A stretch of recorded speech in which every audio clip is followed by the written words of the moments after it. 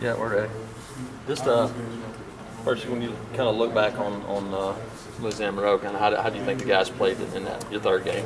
Um, I would say okay. I thought we made some improvement in some areas. Um, the thing I was probably most pleased with was the fact that playing a game against a team that um, played some non-traditional looks and a lot of um, unusual alignments and exotic blitzes and that sort of thing. I thought for the most part we communicated and handled that pretty well. Um, so I was encouraged by that. Um, discouraged by the fact that when we had an opportunity to to uh, put the game away, so to speak, there um, just didn't quite get it done. Hopefully, we'll learn from that. Have a chance to do it again at some point. What uh, what you think of Patrick Miller and his, his first chance to get out there and get some action? You know, I was just glad again for for him, just like I talked about with some of these other young guys. When you have a chance to get out there, you have a chance to say, "Okay, now I've done it." So the next time it won't be my first time.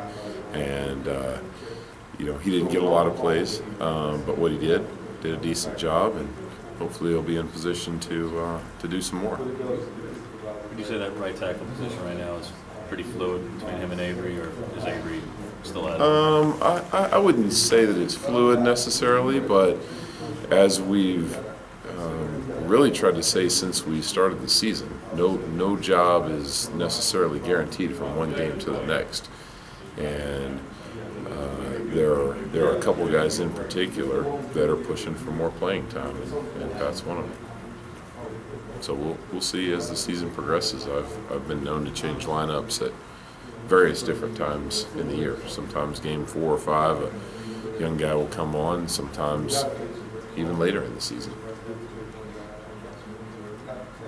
What about Reese Dismukes? How's he played the last last two games? How would you sort of assess his play? Um, you know, I thought he came back and um, played well against Mississippi State. This game wasn't his best, and I'm really not sure why. He and I have talked about that. Um, and I don't think it was a lack of effort. It was just a number of technical things that he didn't do as well as he could. Um, but he's a smart kid, and it means a lot to him. So I think he'll he'll get better and recognize what he needs to do. You see a, a chemistry starting to come together a little bit with these guys now that they've had a couple of games to, to kind of play together some? Yeah, I think so. I think they're getting there, and, and they're, you know, the more success that we have, the more of that will come. Um, so hopefully this last week was another step in that direction. How about the, the challenge this week, uh, you know, facing LSU's defensive line? Challenge is an understatement. they're one of those defenses that you just don't you don't see a weak link, and they're good everywhere. They're good in the back end. They're good in the middle with their linebackers, and, and they're really good up front. But I know this in this league, if you don't handle the four guys up front, then what the rest of those guys do doesn't matter because it's irrelevant because the play never gets started. So we see it as an unbelievable challenge, but also an opportunity to go out there and compete against some of the best in the world at our age.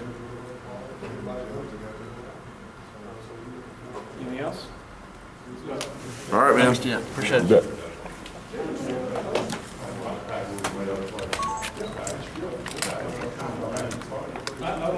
See